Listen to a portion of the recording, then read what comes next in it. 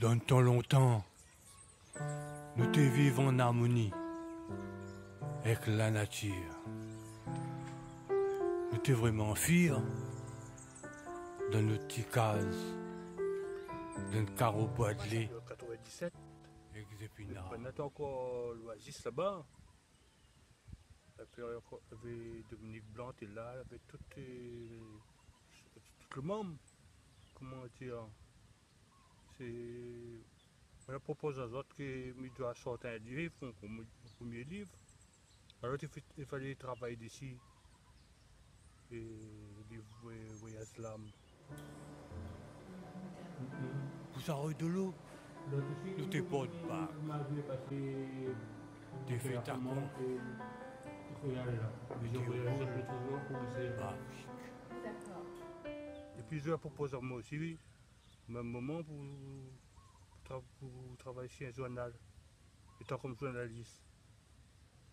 Il avait euh, des photographes, des ça, là, il nous a travailler ça. Là-bas, à rue de Rome, là-bas. Euh, il a fait des formations aussi, sur le journal aussi.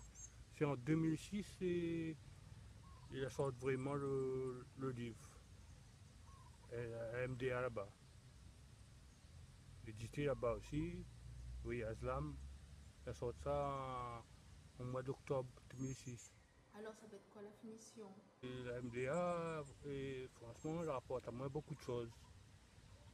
C'est l'ouverture et de la connaissance et dans, et dans le domaine et, et culture créole.